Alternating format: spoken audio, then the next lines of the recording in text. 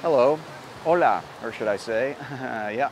I ain't in New York today, just so you guys know that. I'm actually in Costa Rica. Huh? If you can't tell, pura vida, baby. Yeah. Sorry about that. I got the little hat on, little touristy hat. It's a pineapple, wearing sunglasses. That's comedy. Anyways, uh, today I'm going to be doing a little tour of uh, Costa Rica. I'm going to be bouncing around here in Puerto Viejo, which is on the Caribbean side. I'm going to be da dabbling into uh, San Jose as well, but talking about the history. You guys want shots, drone shots of Costa Rica? Go watch another different video you know, this is more information. You ain't gonna get this history anywhere else. Well, you will, like documentaries and stuff, but you ain't gonna get it in a more cinematic way. I don't know what the hell I'm talking about. Look, I'm gonna give you guys a history. It's gonna be great. Lucie, how are you doing?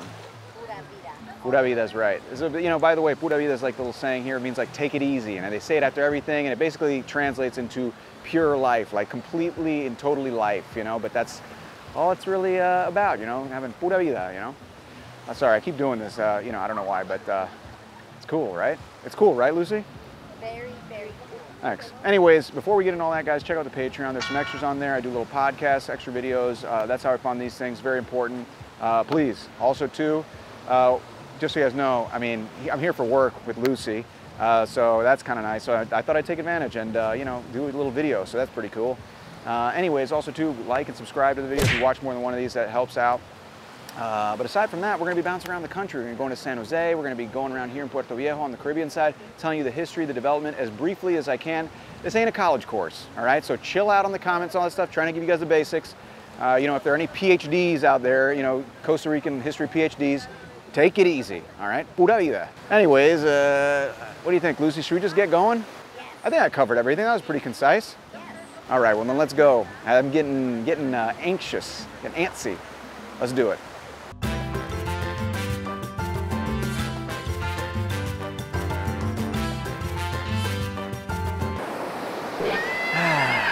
All right.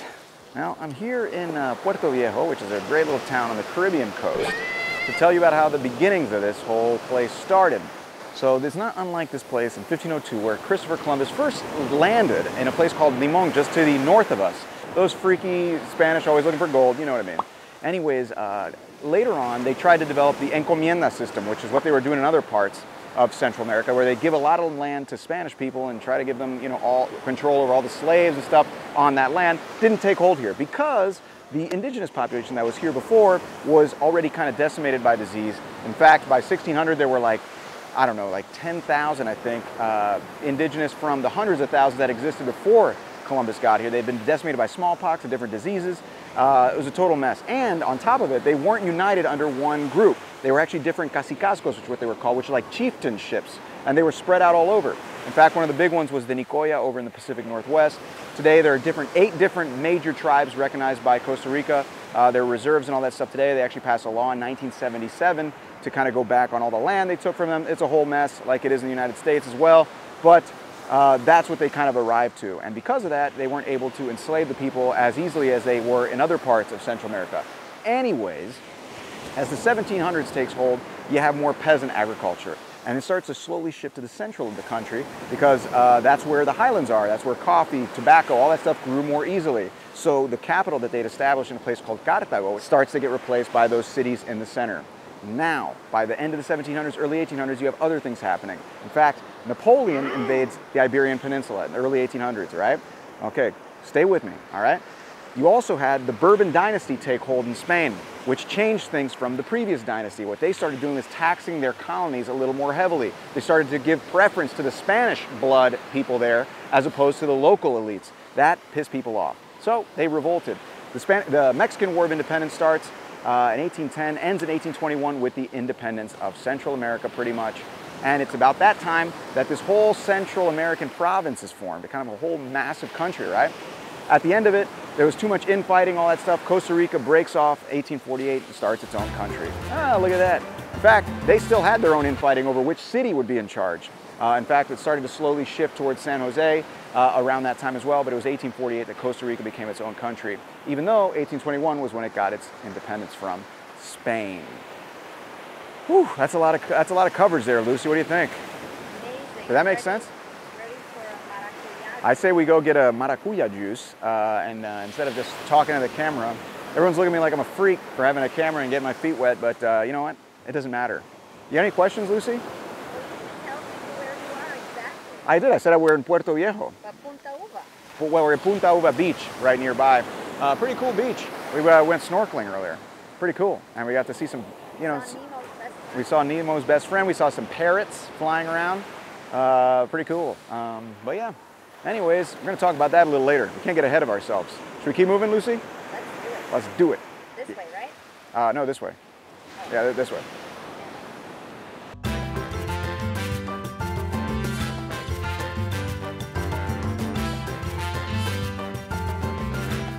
As Central America became more apparently important, especially as a transit point from the Atlantic to the Pacific side and for its resources, guess who got more involved? The stinking Americans, los gringos. Anyways, uh, one of the ways they got involved was through what was called filibustering. And uh, this one guy named William Walker actually made a trip to Nicaragua to kind of take part in the civil war there. Uh, he actually sided with the uh, liberals, the Democrats in Leon versus the conservatives in Granada, which were the legitimists. He actually basically took a side. He brought a bunch of mercenaries, hundreds of them, and took a side in this war that wasn't really his because he wanted to establish a slave-holding stronghold in the uh, in Central America. Kind of messed up. He wanted to kind of it to be an extension of the Confederacy. And he actually covered some ground, got in with the Democratic Party, and actually became the president of Nicaragua uh, briefly uh, in just a span of a few years. Obviously, this kind of bothered people in Central America, including Costa Rica. Uh, this man named Juan Rafael Mora, who was the actual leader here in Costa Rica, was like, we got to do something. So he calls together a militia and they basically go to fight. Uh, they're beaten at the beginning uh, and they're pushed back here to, uh, to Costa Rica, but then they kind of come back and make another push when, uh, when Walker tried to kind of slowly invade Costa Rica itself, and he pushes them all the way back to the town of Rivas in Nicaragua. Yeah, no big deal. It's a little bit of accent there, you know, it's kind of nice. Uh, so he pushes them back, and they actually take uh, they take refuge in a stronghold there. Uh, he pushes them in there, and he's like, "Oh well, this is how we're going to beat them. We're going to burn down this place while they're inside." Problem was they were picking people off from the windows and everything, uh, so no one could get close enough. People died trying to burn it down. Finally, the military was like, "Hey, does anyone want to volunteer to try to burn this place down?" And the man behind me on this statue, Juan Santa Maria, volunteered. 25-year-old kid, almost certain death. Uh, but he was going to sacrifice his life basically for the cause. He makes it all the way to the stronghold and he burns it down and they win the battle. Uh, yeah, interestingly enough, uh, he, he also, uh, before he went in, he said the only request he had was that they take care of his mother. That's a beautiful uh, Latino tradition. You gotta be a, you gotta be a mama's boy, baby. That's, uh, that's what you gotta do. You gotta take care of mama. So he did that, and uh, he died in the process. But became a national hero, and they have this statue here of him in Alajuela, which is where he was from. Uh, and uh, this is Juan Santa Maria Park. Uh, but an interesting kind of role that he played. You know, he had to sacrifice himself to kind of beat back the people who were trying to get involved in the politics and in the economies here in Central America, all the way back in the 1800s. I mean, it never really stopped from when you know the first explorers and whatnot came here. So, just another interesting example of how it happened. But as the 1800s developed, so did the country in other different ways, and we'll talk about that as we go. Any questions, Lucie? How was that? That was amazing. Is there anything that you have that you're curious about? I'm so curious about everything. I just can't wait to hear what's next. Wow, that you're really, that's really good. That was a really good uh, save. Uh, okay, well, that's pretty much the story of Juan Santa Maria, the national hero here in Costa Rica. Let's keep moving.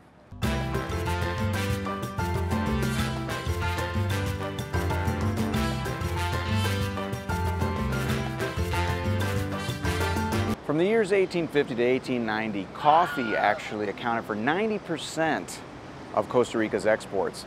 Here in the Central Valley, which is where San Jose and many of the major cities are located, is where most of the coffee was actually grown. Because of that coffee, because of the money coming in, culture started expanding, baby. It was a really beautiful thing. You know, novelists start writing, and then things like this behind me get built. This is El Teatro Nacional, which was built in 1897, the National Theater, for those of you guys who don't understand that very complicated Spanish. Uh, it actually opened in 1897 with the production of Faust uh, by Goethe, the German, uh, you, know, you know that guy, right, Lucie? Goethe. Uh, so, uh, what built up to this was uh, a few things. First of all, obviously, coffee took off and started to get the country more sophisticated, but another big thing was the railway. The railway that connected this area here to the Atlantic Ocean. Now, coffee was very important to the country, but one of the things that kept it from booming was its access to its markets, especially in Europe. So for example, in Europe, you had a lot of the people who were buying the coffee. So initially they were taking it by ox cart over to the Pacific Ocean and going all the way around South America. It was like a trip of five months. By creating a railway to the Caribbean side, they cut it down to five weeks, uh, about six weeks uh, of a trip. So it's very short. Uh, that's what they did. So it starts in 1870, 1871. This man named Tomas Guardia, it's a very nice name, you know, uh, he's actually the president, and he signs a deal with a man named, well, a family, uh, but uh, we'll get to that in a second, a man named Henry Meiggs, who was the uncle of a guy named Minor C. Keith, Minor Cooper Keith. Uh, so this guy Meiggs, Henry Keith, and Minor Cooper Keith start a railway service. This guy Meiggs had already created one in the Andes, much bigger fish to fry there, so he kind of gave it to his nephews, Henry and Minor, right? So they are going to build this railway. They were in their early 20s and they were going to build this railway from here in San Jose and the, and the surrounding areas all the way to the Caribbean side. Needless to say, it was a total disaster because they were going through the jungle. There was problems with disease, the, the humidity, all these things. No, first of all, no one from Costa Rica actually wanted to work that. He had to bring in people from outside. One of the people he brought in uh, was uh, criminals from New Orleans actually. Brought in like 700 criminals. They almost all died. 25 were left. Big problem. Another group he tried to bring in and actually was more successful were the Jamaicans. The Jamaicans were actually, and, the, and actually the Caribbean people were the ones who built the railroad, uh, the actual railroad, the railroad, because they were actually a little more, uh, I guess, used to the, the weather and they were a little uh, more resilient. So they, he brought those people over as well. Another problem he was having was funding it. Uh, and one of the ways he funded it was by developing the banana, which at the time was a very new fruit. Keep in mind, this is in the you know 1870s, 1880s. So the banana was a very exotic thing. Believe it or not, everyone now just knows the banana is everything, but it was one of those fruits that you see in Central America, see in other parts of the world, and you just never really eat. But he helped kind of, uh, kind of bring it to the United States. And one of the things he did was he took the land that they granted him for the railroad, and along the sides of it, he started cultivating bananas, uh, interestingly enough. So, uh, by the way, Minor Cooper Keith's uh, brothers, two of them, died building this railroad, including Henry, so he kind of took over. So a couple things happened for uh, Minor Keith while he was here. He met the daughter of the former president of Costa Rica and he married her. So he was kind of an eligible bachelor. He marries the daughter of a former president, pretty cool. Also, too, he was able to negotiate with the government because the government actually uh, needed this railway done. And one of the things they did, because they didn't have money to pay him, was they gave him land. They gave him 800,000 acres. That's a lot. That's like 7% of the actual land of the whole country uh, at the time. So it was a big deal. And you know what he did with it was he started to use it for uh, farming. And no, uh, you know, in 1890 the actual railway was finished, but he knew what he was doing and he actually formed United Fruit Company with a man named Andrew Preston in Boston.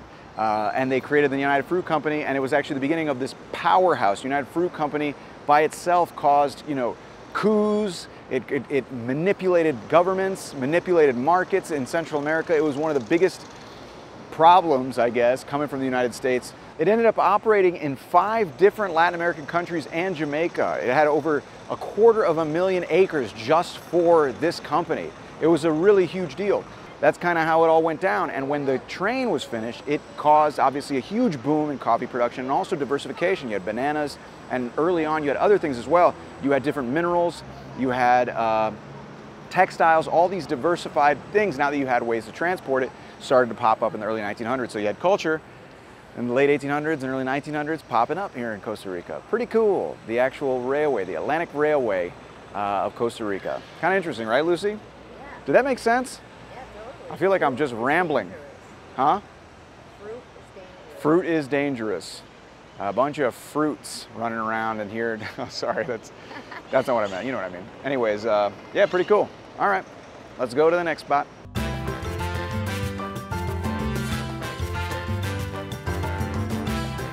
Costa Rica has actually benefited from pretty peaceful uh, times in Latin America compared to other countries here. Uh, in fact, I'm standing in front of what used to be a fortress that was built in 1917. It's now the, uh, the National Museum, but it was built when there was one coup d'etat in 1917. It was short-lived. a man named Tinoco, who was only there for a couple of years before being pushed back out. But it also still holds the scars from another uh, violent uh, period, and that was in 1948. So what happened was, In 1948, there was a uh, election, right, between this guy Ulate and this guy Calderon. Ulate wins, right, but the problem is the Congress was pro Calderon, so they basically said, "No, nah, we're going to nullify your results," and it was a standoff. So this guy behind me, named Jose Figueres, comes in and he basically raises an army of mercenaries, uh, actually a lot of them using El Pacto del Caribe, which was a pact with a lot of Caribbean countries that he basically promised, if you guys give me some, some military, I'll go in, I'll take over Costa Rica, and then I'll help you guys rid, get rid of all your tyrants. Uh, so they gave him some, some uh, military. So he comes in and basically starts a civil war in 1948, right? Eventually it gets so bloody, this is five weeks, uh, 2,000 people die and he makes a pact, he makes a compromise with Ulate, uh, basically saying, all right, look, man, I promise not to outlaw communism, uh, I promise to not uh, persecute opposition forces, and uh, all this stuff, and they say, okay, fine, ceasefire. So he gets in power, uh, Figueres gets in power, and immediately he outlaws communism. Immediately he, he rids the government of all the you know, of all the opposition forces, but he does get, he does actually implement universal suffrage. Ah, what a concept. And most importantly, he abolishes the military, which is still to this day abolished in Costa Rica, and one of the reasons why it's been stable since 1948. Uh, so this plaza we're in right now in front of this fort is actually called the Plaza de la Democracia, which is the Democ Democracy Plaza, but also uh, it honors the abolition of the military, which here in Costa Rica is obviously a very big deal and makes it very unique among Latin America. I don't know if you know this, there's been some instability in Latin America, and because there's no military here, they, they have uh, actually been spared some of it. Uh, so this plaza is actually commemorating that. Kind of cool. Uh, you know, that's something, that's something that I guess coming from the United States you could never even imagine. Uh, but yeah, here there is no military, so that's kind of interesting. What do you think of that story, Lucie? I think it's amazing. You think I told it well? Yes. Yeah, cool. Switzerland That's right, it is a Switzerland in Central America. That's actually an essay, a very famous essay from the 1930s about, all the way from back then even, they're talking about um, Costa Rica that way as well uh, you know, being very neutral throughout its history, kind of trying to avoid a lot of the problems that that brings. And that stability has also led to lots of investment, which we'll talk about in a little bit. Anyways, uh, all right, let's keep moving. I said let's keep moving. Hey, stop it. That's pretty cool, right? Hmm.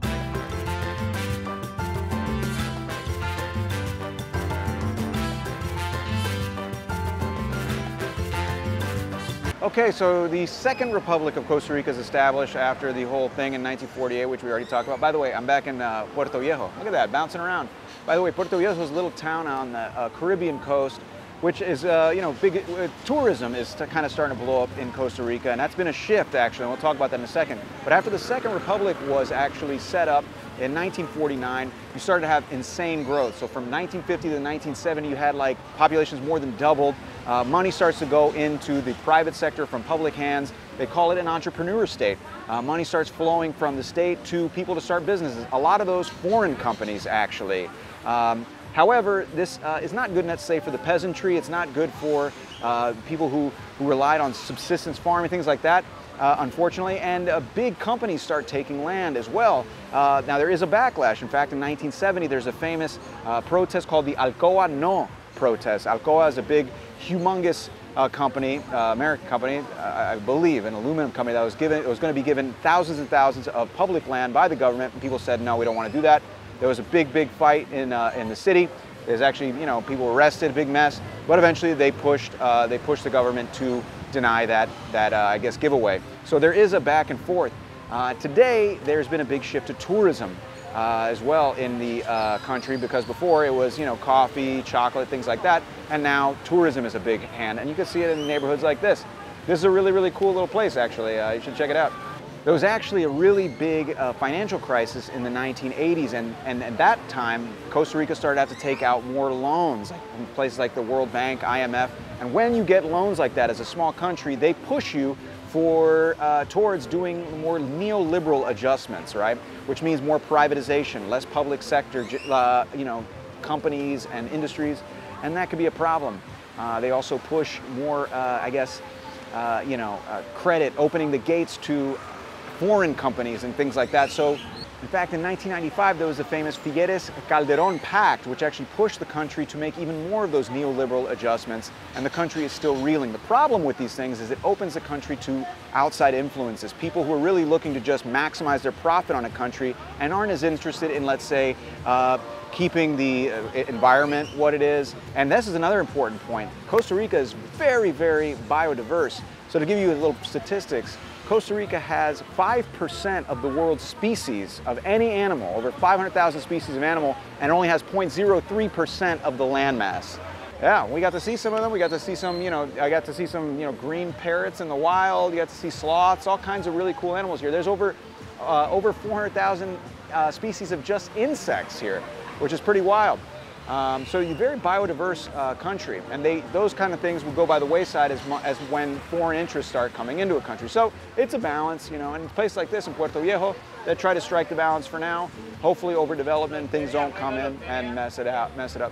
Let's keep moving. What do you think, Lucie? This is, a, this is pretty good. We kind of covered it all there. I think we're kind of ready to wrap this thing up. Yeah, Puerto Viejo cool, right? Puerto Viejo is the best. It's over here on the Caribbean side, which is very different from the Pacific side. Remember, we were talking about already in the center, the highlands kind of took a lot of the control of the country because of all the resources and things that were centered there, things like coffee and cacao and things like that. So there is some cacao out here too, but uh, a lot of the main resources were in the center, the highlands of the country, because that's where the most fertile land was. I'm rambling now. Listen to me ramble. okay, let's keep moving.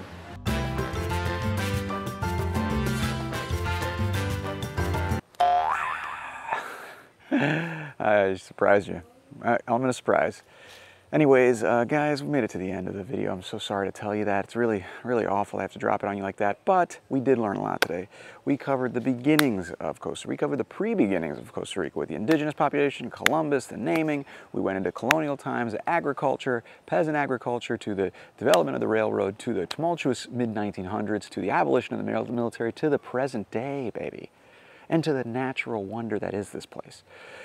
So, before we go, guys, just real quick, uh, if you liked it, please check out the Patreon. That's a huge help. Uh, you know, that's how we fund these things. That's how, you know, uh, keep the lights on, as they say. And there's also extras on there, you know, uh, extra videos and recommendations, all that crud. And also, you know, if you don't have it, we get it. You know, no big deal. But if you liked it and you stayed this long, why not just like it and subscribe, baby? That's a big help too. Uh, but other than that, um, Lucie, what do you think? You think we should just, uh, there's a sloth festival going on. That's pretty cool. We can go check out the sloth festival. Yeah. I think uh, I think uh, they have, I think uh, uh, Dua Lipa's playing at the Sloth Festival. That's not true, uh, but you know maybe they maybe they dressed up a sloth like Dua Lipa. Who knows? Um, I probably didn't do that. But anyways, guys, that's it. Uh, thanks for checking it out. I'll see you guys later. It. I just got I just got stung by something. I think.